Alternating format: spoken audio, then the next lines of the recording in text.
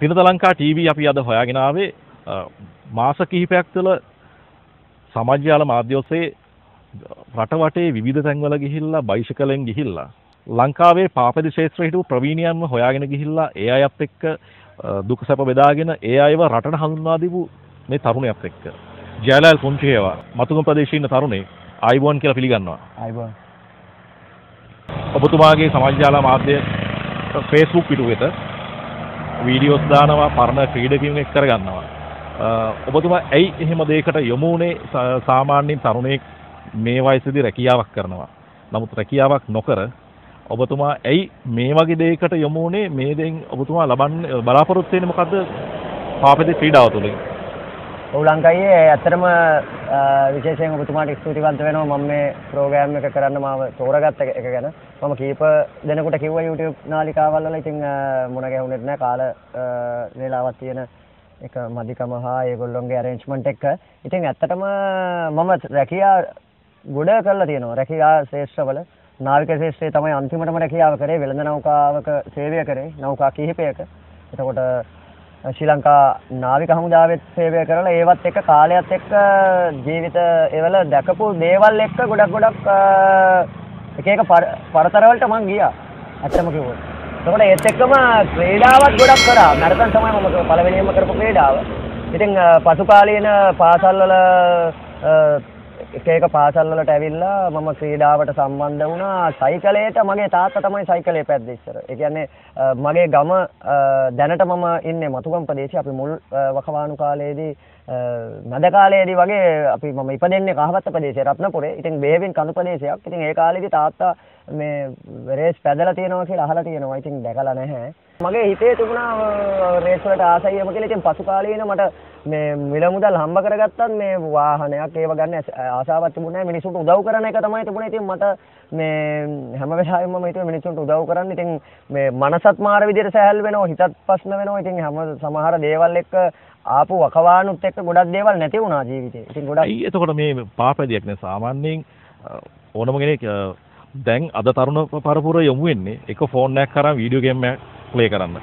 නැත්නම් අන්තර්ජාලයත් එක්ක හැසිරෙන්න. නමුත් ඔබ මේ වයසේදී ඇයි පාපදියක් තෝරගෙන රටවටේ රටවටේ ඉන්න පැරණි ක්‍රීඩකින් පාපැදි ක්‍රීඩකින් කියන්නේ මේ ශේෂ්ත්‍රයේ පාපැදි ශේෂ්ත්‍රයේ ඉඳලා දුරස් වෙච්ච පාපැදි ශේෂ්ත්‍රයේ අදට මූණක් පේන්නන්න නැති ගෙදරට වෙලා හුදකලාවේ ඉන්න පාපැදි ශූරයින් පාපැදි කරුවන්න හොයාගෙන ඇයි ගෙවල් වලට යන්නේ? ඔව් ඒ කියන්නේ මෙහෙමයි මේ මට ඉතින් හරි ආසයි බයිසිකලේ නැගලා ගිහිල්ලා මේ පොඩ්ඩක් ඇවිදින්න ඔය එක එක විවිධාකාර දේවල් මම සිතුවේ. විවිධාකාර මිනිස්යන්ට සිතා ගන්නවත් බැරි දේවල් වගේ දේවල් මම ගොඩක් දේවල් කරේ. පයින් මේ ඉදිරියට මම මතුගම ප්‍රදේශයේ සිට අනුරාධපුරයට පයින් යනවා කතරගමට පයින් යනවා.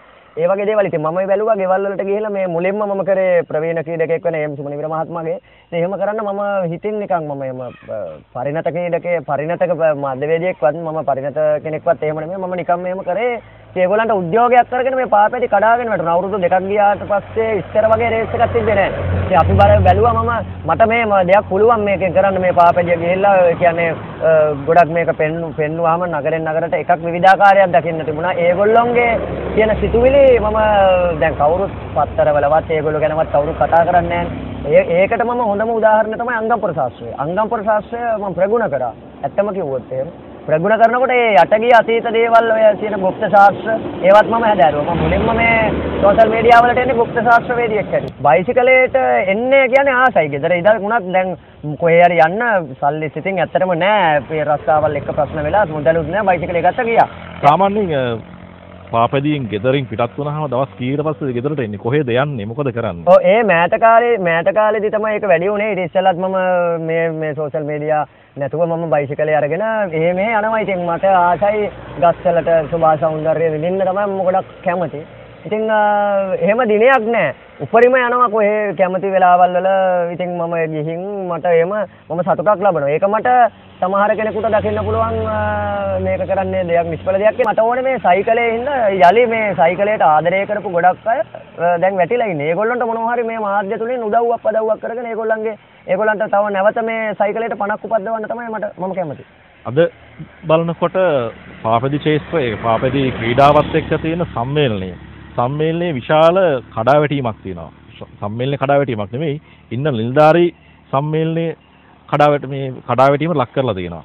ඒතකොට ඒ තුල ක්‍රීඩා ශාස්ත්‍රයේ පාවති ක්‍රීඩා ශාස්ත්‍රයේ ඉන්න ප්‍රවීණයන් ඉදිරියට යොමු වෙන්න ඉන්න නව ක්‍රීඩකින් මේ ශාස්ත්‍රයට යොමු වෙන්න තියෙන ඉඩකඩ අඩු වෙලා තියෙනවා. ඔබ මේ ලංකාව පුරා ගමක් ගමක් පාසා ඉන්න හිටපු පාපැදි ක්‍රීඩකින් ප්‍රවීණයන්ව හොයාගෙන යන ගමනේදී මේගොල්ලෝ එකතු වීමක් වෙනවද මේගොල්ලෝ පාපැදි සම්මේලනයත් එක්ක ඉදිරියට තියෙන ක්‍රීඩාවලට යොමු වීමක් හෝ ප්‍රවණතාවයක් දක්වනවද විශේෂයෙන් මතක් කරන්න ඕනේ කමල් අයියා අපේ කමල් පාරිත ප්‍රවීණ දක්ෂ මේ ලංකාවේ බිහි අති දක්ෂයෙක්. අතරම ස්ප්‍රින්ට් එකේ තමයි එතුමාව කට්ටිය ගොඩක් අඳුනන්නේ කමල් අයියාගේ ස්ප්‍රින්ට් එක ස්ප්‍රින්ට් එක කියන්නේ ෆිනිෂ් එකේදී තමයි බලන්නේ. ඉතින් එතුමා මට සමහර තැන්වලදී දැනුවත් කරා මේ මං ගොඩ අයගේ මං අදහස් උවමාරු කරා. ඉතින් ඇත්තටම මේක මේ පාපැදි සම්මේලනය කියන එක ඇතුළාන්තේ. ඒක පාපැදි සම්මේලනය දිස්ත්‍රික් වල තියෙන සංගම් තියෙනවා. ඒ හා සම්බන්ධව එකිනෙකට දිස්ත්‍රික් සංගම් තියෙනවා. ඒ හරහා ඇතුළත මේ පාපැදි සම්මේලනය ඇතුළත ගොඩක් විවිධාකාර මතභේද සහ ඒගොල්ලොන්ගේ කැරලිවල් ඇතුළ එක ෆයිට් කරන කැරලි කීපයක් තියෙනවා ඒක ඇතුළේ. ඉතින් ඒක ඇතුළේ ඒකින්ද මේ ක්‍රීඩකාවට ඇත්තටම ඒක ක්‍රීඩාවට අවාසනාවක්ද මේ ක්‍රීඩකයෝ කරපු පෙර පෙරද කරපු දෙයක්ද අවාසනාව මම නම් දකින්නේ කොරෝනා ප්‍රශ්නාව. ඊට පස්සේ බෝම්බ ප්‍රශ්නාව. මේ දෙකත් ඇතුළාන්තේ මේ ළඟදි තියන්න තිබුණ ගිය අවුරුද්දේ සැප්තැම්බර් මාසේ වගේ මට මතක හැටියට තියන්න තිබුණ ජාතික ක්‍රීඩා මාවුලේ පාපැදි ඒකත් කඩාගෙන වල. ඉතින් දැන් මේක වෙන්න හේතුව මේකේ ඉන්න දැන් නිලදා මට මම දැන මගේ මතයට සහ මම හොයාගෙන ගිය ගවේෂණත් එක්ක මට දැනෙන්නේ මේ ක්‍රීඩා නොකරපු අයත් මේ සම්මේලනවල වල ඇවිල්ලා ඒගොල්ලන්ගේ නිලධාරීන් පත් වෙලා ඒගොල්ලෝ ක්‍රීඩා කරපු අය හැංගිලා ඉන්නව ගෙවල් ඇතුලේ. මට තව තවත් මේ උනන්දුනේ ඒ මිනිස්සුන් ඇත්තටම සමහර වෙලාවට අඳවනවා වල ඉන්න. සමහර මිනිස්සු හොඳට ඉන්නවා. සමහර අය කලකිරිලා ඉන්නවා. සමහර අයට මේ ක්‍රීඩාව කරලා රස්සාවල් නැහැ කියනවා. ඉතින් ඒ වගේ තත්ත්වයකින් මට මට පුළුවන් විදියට මම හෙලිදරව් කරන්න මොකද බයිසිකලේ ගිහිල්ලා මගේ මගේ මුහුණු පොතේ 5000ක් ඉන්න ඔයා මිතුරන් ඒ කියන්නේ මිතුරුව 5000ක් තමයි අපිට මුහුණු පොතේ කරගන්න පුළුවන් අත් කරගෙන ඉස්සරහට යන. ඉතින් එහෙම මම යන මාර්ගයේ මම එලි දක්වනවා මගේ පුළුවන් විදියට ඒගොල්ලෝ ගැන විස්තර කියනවා. ඒගොල්ලන්ටත් හරි සතුටුයි. ඒ දේ ගැන කියවද්දි ලෝකෙට අර ටීවී එක කරනවා වගේ ඒගොල්ලන්ට මම උපරිම කතා කරන්න මේක දැන්. ඉතින් මම දකින්නේ පරිපාලන ශාස්ත්‍රයේ ගොඩක් ප්‍රශ්න වුණා ඔය වෙලෝඩ්‍රම් එකක් කියලා හැදුවා ගුවස්ත ක්‍රීඩාංගන ඒකත් කඩා කප්පල් කරලා ඒක නන්නත්තර කළම දැම්ම ඉතින් මේවට තව තව මේ වෙයි පුරුක් වගේ දන්වැල් වගේ තියෙනවා. ඉතින් ඒවට කවුද වග කියන්න ඕන කියලා ඒගොල්ලෝ ඒ දන්න නිලධාරියෝ දන්නව අනිවාර්යෙන් නේද? ඉතින් මේකේ හොඳම පුද්ගලයා තමයි කමල් පාලිත කියන ඒ පුද්ගලයා. ඉතින් මේ පුද්ගලයා වගේ අය ගොඩක් පිටරටට ගිහිල්ලා ඉන්නවා මේවා කලකිරිලා. කලකිරිලා කියන්නේ එපා වෙලා. ඔබ මේ මාස දෙකක් විතර වගේ තමයි දැන් පාපදියත් එක්ක පාරට ආවේ. මේ මාස දෙක තුල පාපදි ක්‍රීඩකයන් පැරණි ක්‍රීඩකයෙක් කී දෙනෙක් විතර හමු වුණාද? ඔව් පැරණි ක්‍රීඩකයෝ නම් මං හිතන්නේ 100කට කිට්ටු වෙන ප්‍රමාණයක් හම්බුණා. තව භාගයක්වත් තව හම්බ වෙන්න තියෙනවා. සමහර අය කරන්න බැරි වුණා ඉන්ටර්වයුව ඉන්ටර්වයුව ඉතින් ඉදිරියට කරන්න ඉන්නවා. ඉතින් ප්‍රබල ක්‍රීඩකයෝ ඇත්තටම ප්‍රබල ලංකාවේ නම ගිය ක්‍රීඩකයෝ මට කතා කරපු අය තව ඉදිරියට කරන්න කොහොමත් 20ක් 30ක් හොඳ ප්‍රබලයෝ මට හමු වුණා මූණට මූණ මම දැක්කා. ඒගොල්ලන්ගේ ප්‍රතිචාර කොහොමද කියන්නේ ඔබ දැන් කිසිම කෙනෙක් මේ වෙනකන් පාපෙදි ශාස්ත්‍රයේ පාපෙදි ක්‍රීඩාව වෙනුවෙන් මේ විදිහට සමාජ ජාල මාධ්‍යයක් ඔස්සේ කවුරුවත් ඉදිරිපත් වුන්නේ නැහැ මේ අපි සමාජ ජාල මාධ්‍යත් එක්ක ඉන්නකොට කිසිම පිටුවක් දැක්කේ නැහැ. අවශේෂයට ආදරය කරන පුද්ගලෙක් විතර ඔබයි මේ මේ ශේත්‍රයට ඇවිල්ලා මේ ඉන්න ක්‍රීඩකයන්ව නිදාගෙන ඉන්න අය නැගිටලා ගත්තා. එතකොට නැගිටලා ගන්න එකේදී ඒ අය දෙන ප්‍රතිචාරය කොහොමද ඔබට? ඔය ඇත්තටම මේ ගොඩක් ප්‍රතිචාරයක් තියෙනවා. ඇත්තටම ඉතාලියේ තමයි මගේ ගොඩක් මිතුරන් ඉන්නේ. ඉතාලිය, ජර්මන්, ෆ්‍රාන්ස්, එංගලන්තේ ඔය පිටරට තමයි ගොඩක් මගේ යාළුවෝ ඉන්නේ. ඉතින් ඒගොල්ලෝ ඇත්තටම කියනවා නම් මට හරි මේ සතුටුයි මම මූණ දැකලා නැහැ අද වෙනතුරා. යාළුවෝ කියන්නේ පාපෙදි ශේෂ්ත්‍රයේ පාපෙදි ශේෂ්ත්‍රයේ ඉන්න මිතුරන්. එතකොට තව සිසු යාළුවොත් ඉන්නවා. ඒකේ පාපැදිය ගොඩක් එකතු වෙලා ඉන්න මිතුරන් මම දැකලා නැහැ මූණවත් ක්‍රීඩාවේදී. අපි ඒ දවස්වල ජේසියක් ඇඳලා පදිනවා. අපේ කමල් පාරිත අයියා, එහෙම කිව්වහම මේ ඔය ගීත් අයියා, චන්නලි ළඟ ඒ වගේ පුද්ගලයෝ අහලා තියෙනවා. ඉතින් එහෙම දැකලා නැහැ මේ කතා කරා. ඉතින් හරි ප්‍රතිචාරයක් දානවා. මල්ලි මොනවද ඕනේ? සල්ලි ඕනද? මොනවද බයිසිකලේ මොනවද අඩුපාඩු? ඔය වගේ ගොඩක් අය අහනවා. පාපදියත් එක්ක ගමක් ගමක් පාසේ රට පුරා යන අවස්ථාවලදී ඔබ පැරණි ක්‍රීඩකයන් හම්බෙලා ඔබ සමාජ්‍යාල මාධ්‍ය ඔස්සේ මුළු රටම ඒ අය පෙන්නනවා. ඒ පෙන්වීම තුළ මේ ශේෂ්ත්‍රයේ ඉඳලා විදේශගත වුණු ක්‍රීඩකයන් මොකද්ද දක්වන ප්‍රතිචාරය පාපෙදි ක්‍රීඩාව වෙනුවෙන් දක්වන්නේ මොකක්ද? ඔය ඇත්තටම මේ ඒ ගැන මතක් කරද්දී දිනේෂ් චානකయ్య මතක් කරන්න ඕනේ. ශ්‍රී ලංකා ගුවන් හමුදාව නියෝජනය කරපු. ඉතින් මේ දිනේෂ් අයියා ගොඩක් ප්‍රතිචාරය දක්වන සමහර වෙලාවල් වලට මල්ලි කොහොමද කීයටද වැඩේ තියෙන දඩ බඩ ගාලා ගිහලා එහෙම දක්වනවා ක්‍රීඩාවටත් දක්වනවා. දැන් ගොඩක් තිබුණා ඇත්තටම මේ කරපු ඒ පිබිදීම ඔබේ යම් එක පැත් එක් දිසාවක් වෙන්න පුළුවන්. ඒ පිබිදීම මේ ඔබ නතු කරගන්නත් පුළුවන්. ඒක සමාජ ජාල මාධ්‍ය මාධ්‍යයක් ඔස්සේ මේ තාක්කල් කවුරුවත් නොකරපු දෙයක් ඔබ කරා.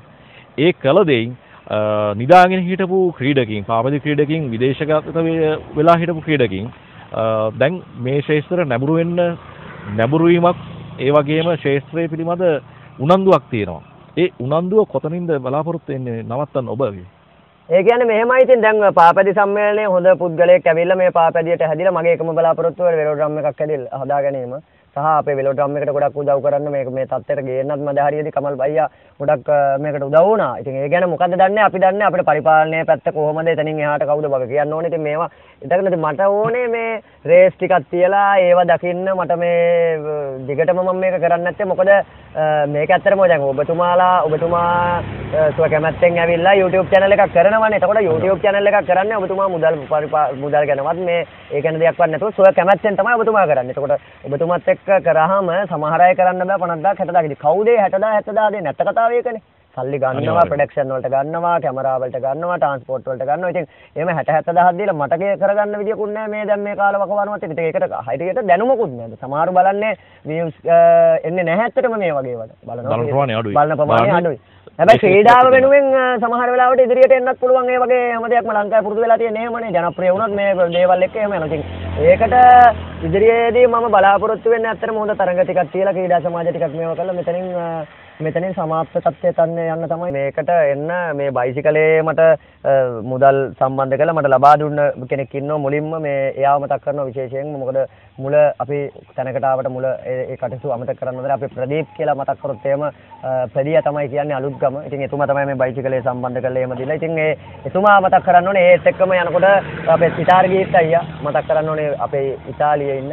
එයා තමයි ගොඩක් අය සම්බන්ධ කරලා දුන්නේ. ඉතින් එතනින් එහාට අපේ මේනකා අක්කා මේ මේනකා අක්කා කිව්වම දන්නවා පාපැදි ශේෂ්ත්‍රයට ආදරය කරන අ, පාපැදියට ගොඩක් ගරු කරන. එතකොට එතුමා එතුමියගේත් මහත්යත් ලින්කරයක් කරගෙන විදිහට අයියා. ඉතින් පළවෙනියටම මේ මුදල් දීලා පළවෙනියට මට ගොඩක් උදව් කරා. ඉතින් එතුමා දැන් එතුමයි එතුමියයි එතුමයි නැත්නම් මේ ශේෂ්ත්‍රේ පාපැදි හදපු මට ලබා දුන්න ප්‍රදේශ නැත්නම් අද මේ තත්ත්වයට එන්න මට බෑ. ඉතින් ඇත්තටම ඒ කියන්නේ ඒ අය නැතිනම් රටවට යන්න පාපදියක් නැහැ. ඔව් රටවටේ මම ගියා ඒ වෙන පාපැදි වලින් ඒවා හරි යඟට ටිකක් අර මවුන්ටන් එකක් තිබුණේ.